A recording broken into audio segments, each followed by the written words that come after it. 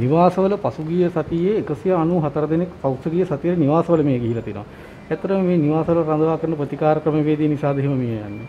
නෑ දැන් නිවාසවල රඳවා ගන්නේ 65ට අඩු කිසිම සංකූලතාවයක් නැති අය. මේ මොකද නිවාසවල රඳවා ගන්න රජයේ තීන්දුව කෙරුවේ රෝගීන්ගේ වැඩිවීමක් දකිනවා. ඒ වගේම රෝහල් පද්ධතිය පිරීලා, ඒ වගේම රෝහල් පද්ධතිය තුල සංකූලතා තියෙන රෝගීන්ට වැඩි සේවාවක් ලබා දීමේ අරමුණෙන් තමයි 65ට අඩු වෙනත් රෝග නැති අයව නිවාසවල රඳවමින් ඒ වගේම ඒ දුරකථනය හරහා වෛද්‍ය ප්‍රතිකාර ලබා දීම සිද්ධ කරන්නේ. දෙනසක ට්‍රයේජ් කරලා බලලා තමයි වෛද්‍යවරයෙක් තමයි තීන්දුව කරන්නේ රෝහලට යා යුත්තේ ගෙදර පුළුවන් ද අතරමැදි මධ්‍යස්ථානයකට යනවද කියලා. හැබැයි අපි දකින සමහර අය පුද්ගලිකව ගිහිල්ලා ඇන්ටිජන් පරීක්ෂා කරගන්නවා. සමහර විට සෞඛ්‍යයට දැනුම් දෙන්නේ නැහැ. PHI මහතුරුන දැනුම් දෙන්නේ නැහැ. සමහර 65ට වැඩි අයත් නිවාසය ප්‍රතිකාර කරන්න අවස්ථාව දීපු නිසා නිවෙස් වලට වෙලා ඉන්නවා. ඉතින් ඒ වගේ සමහර විට සංකුලතා ඇවිල්ලා රෝහල්ගත වෙන ප්‍රමාද වෙනකොට සමහර නිවෙස් වල මරණ සිද්ධ වෙනවා. ඉතින් ඒ නිසා අපි රටේ ජනතාවගෙන් ඉල්ලන්නේ තමුන් තීන්දුව කරන්න එපා. ඇන්ටිජන් පරීක්ෂාවක් කරොත් වහාම ප්‍රදේශයේ මහජන සෞඛ්‍ය පරීක්ෂකට හරි සෞඛ්‍යවාදී නිලධාරියට හරි දැනුම් දෙන්න. ඔවුන් තීන්දුව කරයි නිවසේ ප්‍රතිකාර ලබනවද එහෙම නැත්නම් රෝහල්ගත කරනවද කියලා. ඒ වගේම තවම එන්නත ලබා නොගත්ත විශේෂයෙන්ම 65ට වැඩි අය ඉන්නවනම් කරුණා කරලා ළඟම තියෙන සායනට ගිහිල්ලා එන්නත ලබා ගන්න. ඒ වගේම පසුගිය සතියට 115 දෙනෙක් මෙහෙ ගිහිල්ලා තියෙනවා එන්නත් දෙකම ලබාගත්තු අය.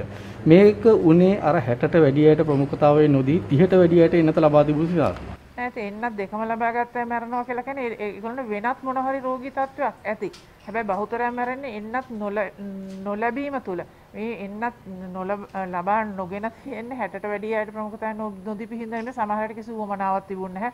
සමහර වැඩි හිටියා හිතනවා අපි එළියට යන්නේ නැහැ. ඒ නිසා අවශ්‍ය නැහැ කියලා. මට මතකයි පෙබරවාරි මාසේ ඇස්ට්‍රසෙනිකා එන්නත ලබා දෙනකොට මගේ ප්‍රදේශයේ රද්දලුව ප්‍රදේශයේ හුඟක් හැටට වැඩි අය ඇවිල්ලා එන්නත ගත්තේ නැහැ. මොකද ඔවුන් හිතනවා අපි එළියට යන්නේ නැහැ. ඒ නිසා අපිට ආසාදනය වෙන්නේ නැහැ කියලා. හැබැයි ඔවුන්ට අමතකයි ගෙදර ඉන්න තරුණ අය එළියට යනවා. තරුණ අය එන්නත් ගත්තට ඒ එන්නත් ගත්ත අයටත් රෝගේ බෝ කරන්න පුළුවන්. ඒ හරහා වැඩිහිටියන්ට විස බීජ ඇවිල්ලා රෝගී වෙලා මරණයට පත්වෙන අවස්ථා තියෙන නිසා ඉන්නත ලබා ගැනීම ඉතාමත්ම වැදගත්. රට වහලා දින 11ක් ගත වෙද්දිත් මරණ සංඛ්‍යාව 200 සීමාව වෙමින් කතා පවතිනවා.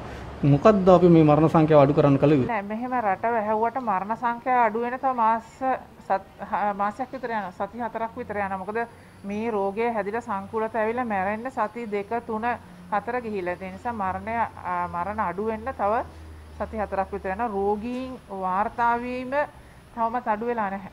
ඉතින් ඒ නිසා අපි රටේ ජනතාවගෙන් ඉල්ලනවා තම තම ආරක්ෂාව වෙන්න. මොකද මේක ආණ්ඩුවකට විතරක් කරන්න අමාරුයි.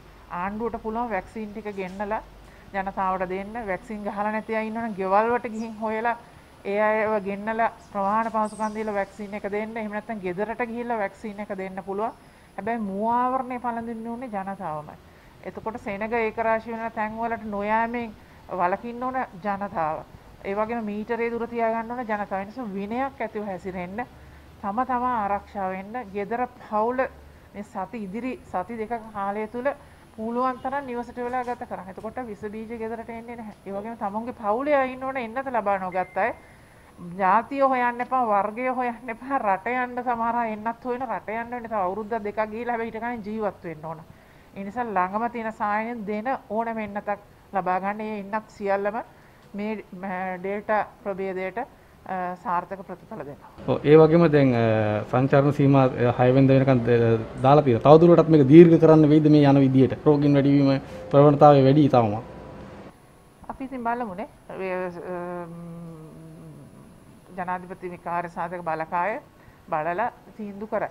ඉතින් මම පුද්ගලිකව හිතනවා මේක දීර්ඝ කරනවා නම් තව සතියක් දෙකක් හොඳයි. මොකද රෝගීන්ගේ වැඩිවීම රෝග වැඩිවීම තාම අඩු වෙලා නැහැ.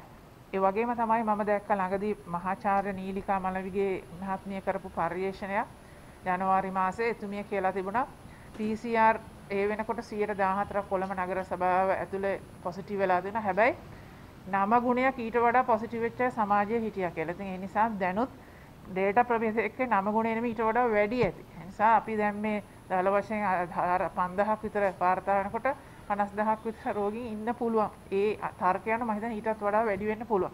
ඒ නිසා මම හිතනවා තව සතියක් සති දෙකක් විතර සංචරණ සීමා පැනෙව්වොත් යම්තාගුරට මේ පැතිරීම පාලනය කරගන්න පුළුවන් වෙන්නේ හැබැයි අනිත් අතට සංචරණ සීමා නිසා දෛනික වැටුප් ලැබෙන පුංචි පුංචි ව්‍යාපාර කරන බොහෝ අයට නොයෙකුත් දුෂ්කරතා මතු වෙලා තියෙනවා. ඉතින් ඒ ගැනත් අපි සැලකිලිටපත් වෙනවා. හැබැයි ඉතින් මෙහෙම මේ ජීවිතේ අයිති තමුන්ටනේ.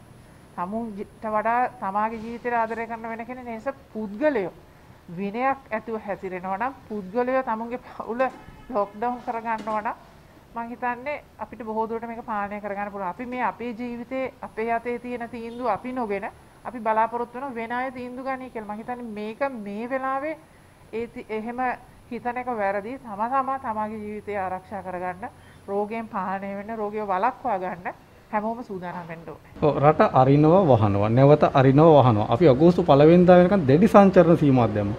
නමුත් ඉතින් අපි නැවත රට විවෘත කරාට පස්සේ හැසිරෙන ආකාරයෙන් නැවත රෝගීන් වැඩි වෙනවා. ඔය ඉතින් මෙහෙමනේ පුංචි ළමයින්ට නම් දඬුවම් කරන්න පුළුවන් වේවලක් අරගෙන ඉතින් වැඩි හිටියෝ දැනගන්න ඕනේ තමුන් ආරක්ෂා වෙන්න. ඉතින් මේ නීති දාලා විතරක් බෑ. මොකද මේක ලෙඩක්, වසංගතයක්.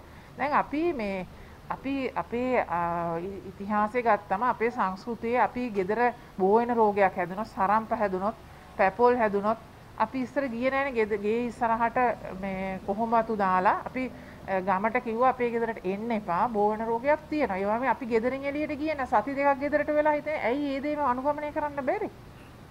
නිසා ලෝකේ බොහෝ රටවල් මේ සංචරණ සීමා දාලා සාර්ථක ප්‍රතිඵල අත් කරගෙන නැහැ. අද වෙනකොට ඒවට එරෙහිව අද පෙළපාලි යනවා. ඒ නිසා මේ ස්වයං විනය මේකත් එක්ක ජීවත් වෙන්න අපි හුරු වෙන්න ඕන.